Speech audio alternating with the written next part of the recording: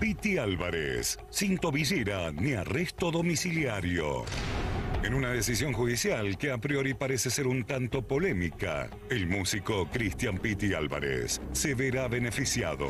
Se suspende el debate. No tendrá más arresto domiciliario y se le sacará la tobillera electrónica para monitorearlo. Además, todo pasará a manos de la justicia civil. Como no está claro cuándo el, el Piti va a estar en condiciones eh, psicológicas de someterse a un proceso, el juez determin- los jueces determinaron que bueno que sería ilegal mantenerlo bajo la prisión preventiva por tiempo indeterminado. Ahora no está mentalmente para afrontar un juicio. En ese momento no demostró eso.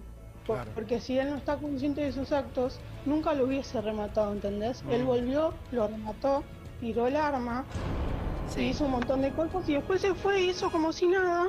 La justicia no se animó a bajar el martillo y decir que es inimputable, pero lo piensan. Esto está en el subtexto, se puede leer claramente, por eso el pase a la justicia civil. Acá está acreditado que al momento del hecho él era imputable. ¿Qué quiere decir? Era imputable, Eh, o sea, él, él no va a poder ser declarado inimputable, ¿me entendés? Ok, O sea, él es. A continuación, en exclusivo, habla Jacqueline, la hija de Cristian Díaz, el hombre asesinado por el Piti Álvarez.